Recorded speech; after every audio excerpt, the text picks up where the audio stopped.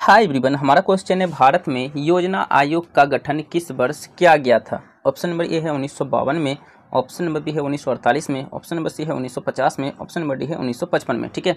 तो भारत में योजना आयोग का जो गठन किया गया था, वर्ष 1950 में किया गया था, ठीक है? तो ऑप्शन नंबर सी हमारे इस क्वेश्चन का करेक्ट आंसर हो जाएगा ओके तो आज के लिए इतना वीडियो को लाइक करें, चैनल को सब्सक्राइब करें। मिलते हैं नेक्स्ट वीडियो में सो थैंक यू